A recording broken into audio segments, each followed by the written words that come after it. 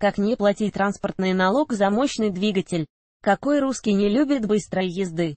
Старая русская пословица дошла до наших дней без малейшего искажения смысла.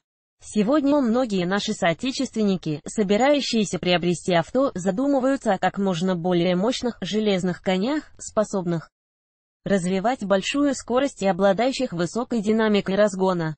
Однако практически всегда эйфория от обладания многосильным авто сменяется разочарованием, когда наступает обязанность оплаты ежегодного транспортного налога.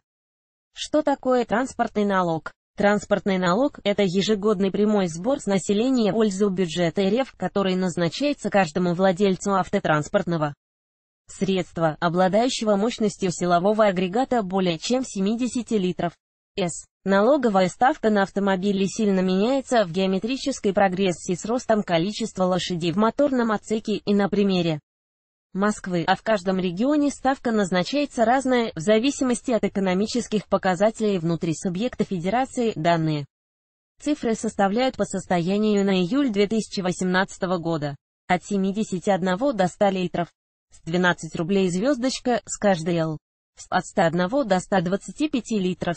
25 рублей с каждой ЛС. От 126 до 150 литров с 35 рублей.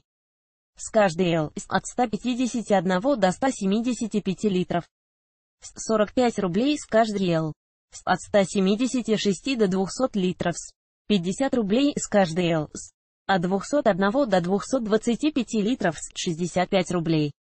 С каждой Л. От 225 до 250 литров.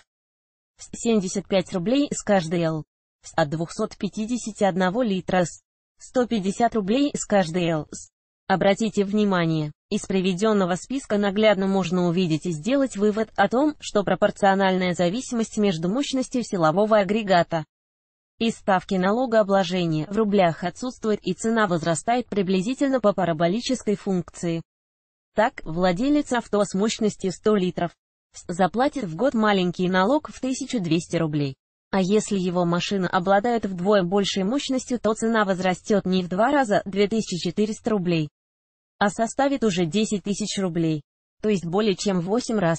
Если же автолюбитель решил, что ему крайне необходим спортивный суперкар или огромный внедорожник с мощностью 400 литров, то его карман ежегодно будет пустеть уже на 60 тысяч рублей. Но это еще не все. В РФ с 2015 года был введен повышающий коэффициент для хозяев сверхдорогих авто, и сумма налога возрастает от 10% до 300%, если новенький. Автомобиль стоит свыше 3 миллионов рублей. Но далеко не каждый любитель горит желанием расставаться просто так с такими суммами каждый год. Перевозка инвалидов как способ не платить налог – законный способ обхода высокого транспортного налога. Как не платить транспортный налог за мощный двигатель? Если изучить принципы начисления транспортного налога, можно вполне законными способами попробовать платить меньше либо вовсе обходить закон.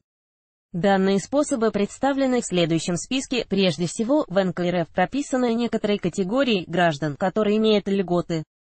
По транспортному налогу, лауреат Ордена Славы, Герой России, участники и ветераны войны вооруженных конфликтов, имевшие место в нашей стране, начиная с ВОВ, инвалиды и двух групп лица, занимающиеся особо опасной для жизни работой, и многие другие категории людей.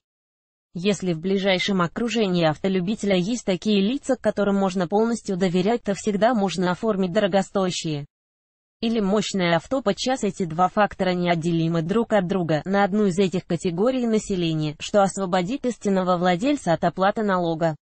В случае, если владелец авто является легитимным хозяйствующим субъектом или владельцем ИП либо юрлица, то он может попытаться оформить лицензию, позволяющую его предприятию осуществлять перевозку инвалидов. Данная категория лиц также освобождена от уплаты налогов. Если у многодетного отца имеется три или более ребенка, то он освобождается от налогового бремени по транспортному налогу, правда только в том случае, если в распоряжении семьи находится автомашина с мощностью не более 200 литров.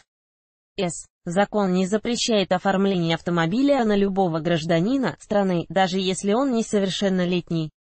Одним словом, водить ребенок не имеет права до 18 лет, а быть хозяином ТС может, однако при этом налоговая ответственность наступает также с 18 лет. Многие автолюбители лица, приобретающие дорогие и мощные авто, пользуются этим, оформляя их на своих детей и освобождаются от налога. Пока ребенок не достигнет совершеннолетия, а потом переоформляет повторно на более младших детей. Многодетные семьи имеют льготы по транспортному налогу, если посмотреть по таблице распределения налоговых ставок в зависимости от региона нашей необъятной страны, можно увидеть, что несколько субъектов имеют крайне маленькие налоговые ставки. Так, например, если в Москве, как было сказано выше, этот показатель варьируется от 12 до 150 рублей за 1 литр, то в Ненецком автономном округе данная ставка уже колеблется в пределах от 0 до 50 рублей за лошадь. Однако при этом никто не мешает зарегистрированному в ином регионе автомобилю спокойно перемещаться по московским или петербургским дорогам. Только налог в конце года должен приходить по месту временной регистрации в три раза меньше, чем в мегаполисах, и отчисления идут в бюджет региона, где прошло оформление ТС. Последние годы законодательство разрешает физическим лицам оформлять на себя лизинг. По сути, по данному договору авто находится в долгосрочной аренде с ежемесячной выплатой платежей, а значит, зарегистрировано на другое лицо, лизингодателя. Достаточно выгодная и правомерная схема, которая позволяет не оплачивать налоги за чужое авто и пользоваться им как собственным весь период эксплуатации. Однако вполне возможно, что лизингодатель обяжет физлицо выплачивать периодические платежи уже с учетом налога. Последний, не самый легальный способ, внести корректировки в ЭТС или договор купли-продажи автомобиля, существенно занизив фактическую стоимость, что избавит от налога на роскошь или мощность мотора, так как это повлияет на налоговую ставку. Однако далеко не каждый государственный орган или крупный автосалон пойдет на такой подлог, так как в процессе проверки данных налоговой. Эти факты могут вызвать ряд вопросов а в случае выявления факта незаконной деятельности лиц, причастных к подобным деяниям, могут привлечь не только к административной, но и к уголовной ответственности. Важно, несмотря на все уловки, тратящие время, нервы и деньги автолюбителей, самый дельный совет для них может быть только один – выбирать транспортное средство, которое будет по карману не только во время совершения покупки, но также и на период эксплуатации и не придется Задумываться далее, как обойти транспортный налог. Последствия от неуплаты транспортного налога. Отдельная категория автолюбителей не сильно переживают по поводу мощности ТС, так как попросту игнорируют налог, приходящий в начале года, с мыслями о том, что налоговики не приставы сделать ничего не смогут, а налог могут и отменить, да и проверяют должников редко. Однако, как показывает практика, налоговики действительно терпят до 2-2,5 лет, за которые купится сумма налога ОФ и пение по нему. Одна трехсотая от общей суммы долга за каждый день неуплаты после отведенного до этого срока. Лизингополучатель не платит транспортный налог, но, несмотря на то, что, согласно законодательству, отводится всего три года для инспекции.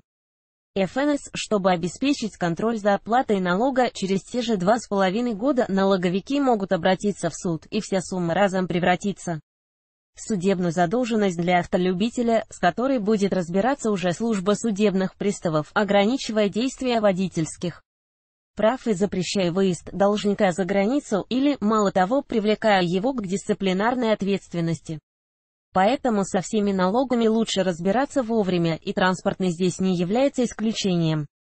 Звездочка цены указаны по состоянию на июль 2018 года.